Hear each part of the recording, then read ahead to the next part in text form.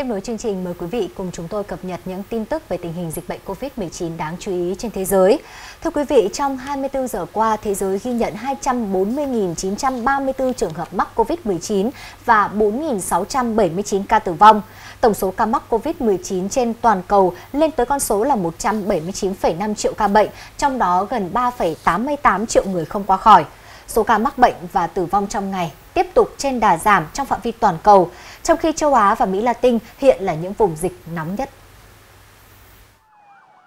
Ngày 21 tháng 6, Nhà Trắng công bố kế hoạch cung cấp 55 triệu liều vaccine của COVID-19 còn lại trong tổng số 80 triệu liều vaccine mà Mỹ đã cam kết nhằm giúp đỡ các nước trên thế giới. Thông báo của Nhà Trắng cho biết khoảng 41 triệu trong số 55 triệu liều vaccine nói trên sẽ được phân bổ cho các nước ở khu vực Mỹ Latin và Caribe, châu Á và châu Phi thông qua chương trình chia sẻ vaccine toàn cầu COVAX, trong khi 14 triệu liều còn lại sẽ được chia sẻ cho các khu vực ưu tiên bao gồm Colombia, Argentina, Iraq, Ukraine, bờ Tây và giải Gaza.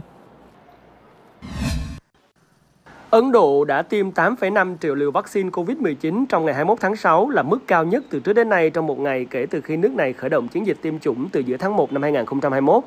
Bộ Y tế Ấn Độ cho hay mức tăng đột biến này diễn ra trong ngày đầu tiên Ấn Độ triển khai giai đoạn phổ cập mới vaccine ngừa COVID-19 bắt đầu từ ngày 21 tháng 6.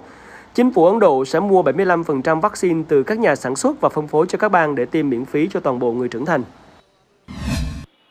Trong bối cảnh dịch COVID-19 tại khu hành chính đặc biệt Hồng Kông có xu hướng cải thiện, liên tiếp 15 ngày không có ca lây nhiễm trong cộng đồng, chiều 21 tháng 6, chính quyền Hồng Kông đã có cuộc họp báo thông báo các biện pháp giãn cách xã hội mới sau khi quy định phòng chống dịch cũ sẽ hết hiệu lực vào ngày 23 tháng 6 tới. Đối với người dân đã tiêm đủ hai mũi vaccine sau 14 ngày, có giấy xét nghiệm âm tính với virus SARS-CoV-2 gây bệnh COVID-19, trở về Hồng Kông từ những nước và khu vực có rủi ro thấp, thời gian cách ly bắt buộc sẽ giảm xuống còn 7 ngày. Các nước và khu vực có rủi ro thấp bao gồm Canada, Nhật Bản, Vương quốc Anh, Singapore và Mỹ. Tổng thống Philippines Rodrigo Duterte dọa sẽ bỏ tù những người từ chối tiêm vaccine ngừa COVID-19 khi nước này đang đối mặt với một trong những đợt dịch bùng phát tồi tệ nhất châu Á, với hơn 1,3 triệu ca nhiễm và hơn 23.000 người tử vong. Lời của ông Duterte trái ngược với phát ngôn của các quan chức y tế. Những người này nói rằng mặc dù mọi người được khuyến khích tiêm vaccine ngừa COVID-19 nhưng đó là hoạt động tự nguyện Tính đến ngày 20 tháng 6, nhà chức trách Philippines mới tiêm phòng đầy đủ cho 2,1 triệu người, khiến tiến độ chậm hơn so với mục tiêu của chính phủ là tiêm chủng cho 70 triệu người tại quốc gia 110 triệu dân trong năm nay.